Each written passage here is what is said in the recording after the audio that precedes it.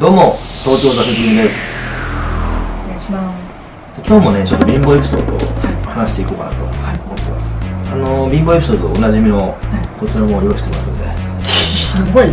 これは飯？食べ物です。え？は食品サンプルの氷とかではなく？い、まあその方がいいものっていう説がありますね2年前僕杉にあったことがありまして。皆さんお金をお持ちでないのに。そうなんですよ。給料日後だったんですよ。最悪ですね。はい、なんでその日その月に関してはね、はい。もう完全にゼロに。あと思ったんですけどそのスリが特殊であはい。よくスリって言ったら満員電車の時にああ。なんかぎゅうぎゅうになってる時になんかつり革捕まってもケツポレから行くみたいな、はい。あ僕あの席に座ってるスリにあったことがあってえこうしてたんですかお財布を。いや僕あのそもそも財布をケツポレじゃなくてあの前のポケットにあ入れる癖があってでまあ終電とかだったんですよあね、でまあなんか人も少ない車内でで隣の席の人にパクられたんですけど なんでパクられたのかなっていう自己分析したんですけど僕あの目が小さい細いじゃないですか。寝てると思われてたみたいでえ起きてはいたんです起きてはいた。あの音楽を聴いてて。多分思いっきりここに感触が。あるはず。でって言ってそういや向いちゃう。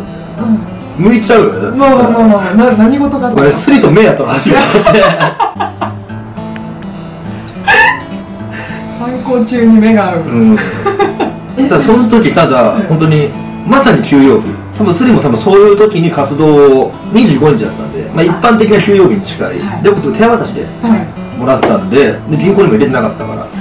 だってあの銀行に入れたら、はい。あの借金で引き押さえちゃって。持ってないと。僕持ってないといけなかったんで。はい。で一番ダメな人からはい。パクってるっていう。そうですねであの一応ちょっとすみません。ってさすがにこれは。まあまあ気づいてますからね。ちょっとあの駅員室の方にちょっとおあ。の、ぜまあ、え駅降りて行ってちょっと僕も立ち会ったんですよ。駅員の方とそのスリの方と。であのなんか駅員の方にちょっと事情を聞いててなんか僕もまだ立ち会っててああ。の一応長所が書いたりとかしないんで、はい。まあ、すいませんって言って。であのすいません借金があってみたいな感じでもう死のうかと思ってみたいな。あもう人生やっていけなくなってもうついついちょっとやってしまいましたみたいないくら？って言われて「いや200万です」って言って、はい俺300万って。100万買って死のうと思ってた人よりも100万っていう。皆さん大変だってことですね、はい、今回以上です。どうでした？ねなんていうかどうなんですかね。赤崎さんのはい。メンタルが強すぎるのか。まあ、300あっても200の人に取られるくらいのまあ僕からのメッセージとしては、うん。まあ、生きろってことですね。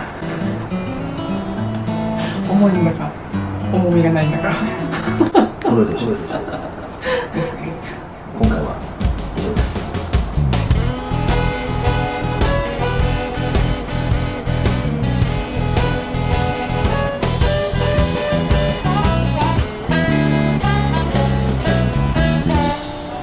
東京挫折組です